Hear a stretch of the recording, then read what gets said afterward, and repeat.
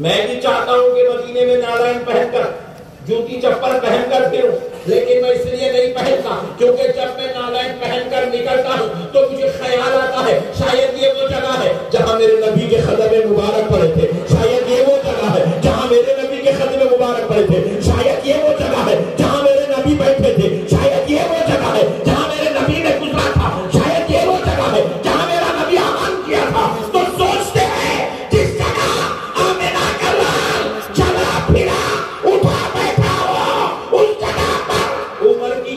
मजाल कि वो नालायक पैर का फिरता